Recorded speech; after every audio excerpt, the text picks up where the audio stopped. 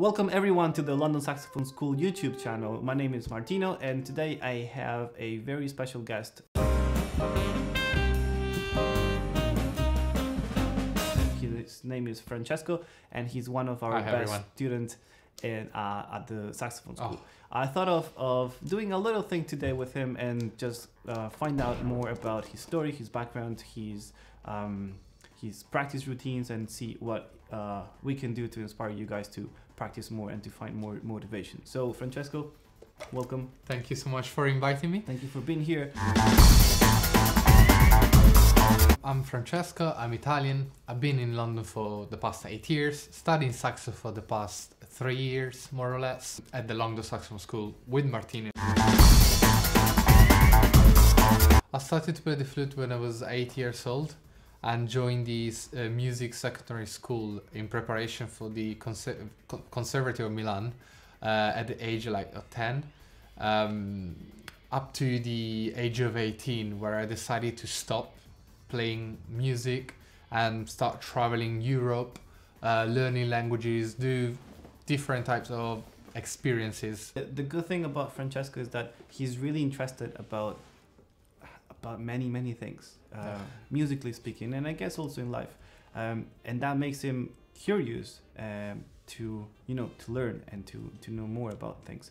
So uh, yeah, he's he's the baritone player of the ensemble. He he will play as a soloist uh, with the ensemble in, in, in June for a concert in June he he's had few gigs weddings and, and stuff like that and um, and the reason why he's able to do that is not only because the lessons that we're giving him and I'm, I'm, I'm teaching him uh, that's just part of it. The the most important thing is the way he is and the way he commits to music and to and to the instrument. And that's Mm. and that's how you do it. And you know that's how you progress. If you want to see Yeah. progression in at whatever whatever level you are uh, whether you're a professional advanced amateur uh, complete beginner it doesn't matter um, you wanna you still want to put some effort into it because then if you harvest the interest and and and the time then you're gonna see results um, in the future. So he's he's been playing for two and a half three years and he's he's been putting a lot of time three four hours a day for at least the past year and and that's why he's progressed so much. I just wanted to mention that francesco tell us a little bit more about your practice routine. How do you structure that? Because i know everyone has different opinions and, and different um, ideas. So do you structure it for the day for the week maybe for the month? How is it? So the minimum I practice per day is one hour, and that that's my structure. Literally, I divide my hour on everything I have to do, depending if I have to prepare something for my lesson, for a gig, for an assemble rehearsal. Um, so, for example, if you take your hour, maybe the first ten minutes you can work on sound, then you can work the next twenty minutes, fifteen minutes on uh, scales, um, and then work on on your um, studies for your pieces. lessons. And then maybe the last 10 minutes just have fun improvise on music or just play some pieces for nice. for a gig or something a lot of people ask what's the magic formula? What's your practice routine? Um, i don't think there's a magic formula. It's just because it's music it's not linear. Music is, is basically i call it the spaghetti process. You know it's like like that. Because it's uh, say you have a, a, a really rigid uh, structure for for the week. You know, you know like monday i'm gonna do that tuesday i'm gonna do that wednesday i'm gonna do that and so on okay?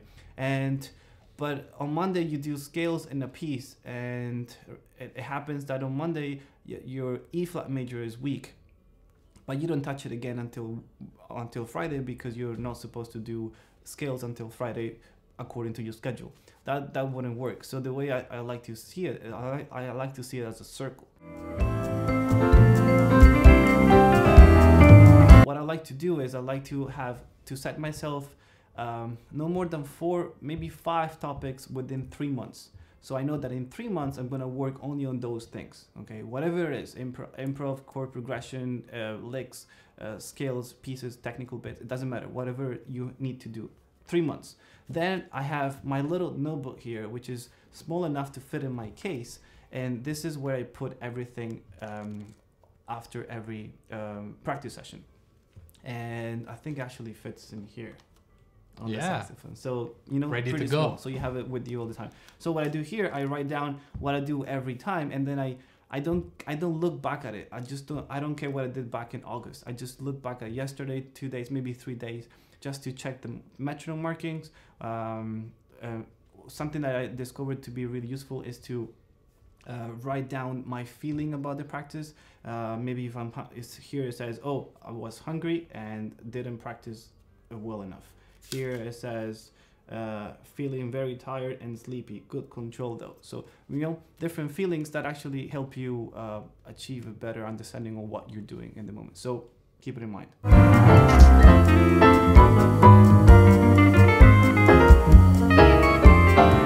So now tell us what are your top three weaknesses in music and saxophone?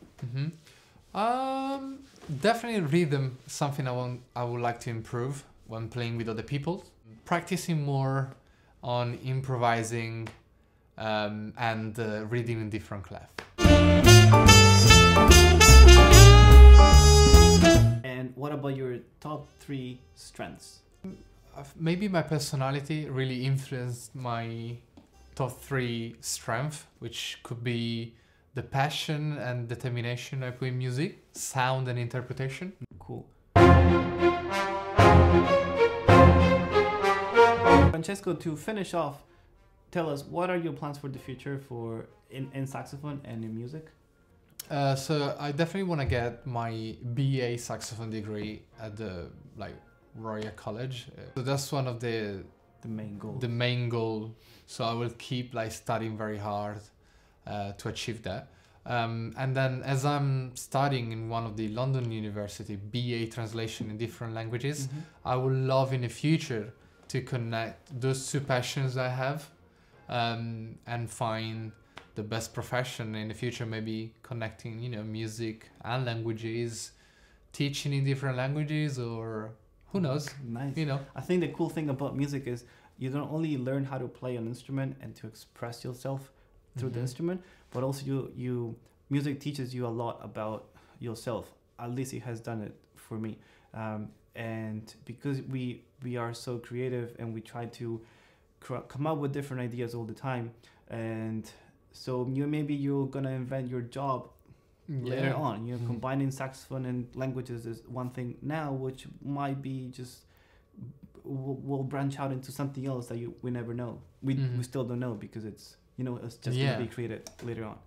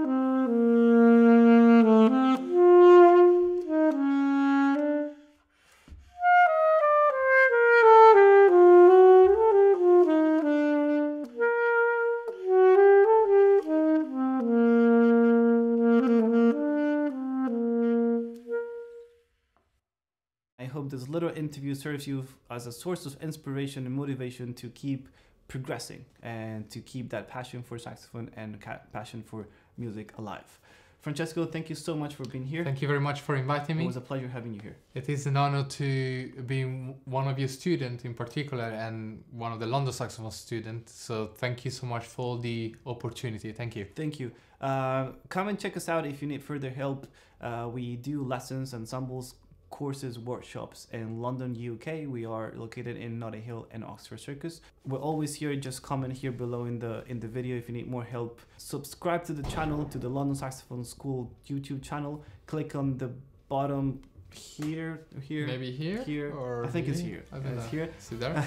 ring ring the bell uh, to get notifications about new videos coming up, and uh, Mhm. we'll see you soon. See you soon. Nice playing. Hope you like it too. No. Sax Right. routine. Practice routine. Like a, like a quick um, su- summer. uh, come si dice maestro? Sum up.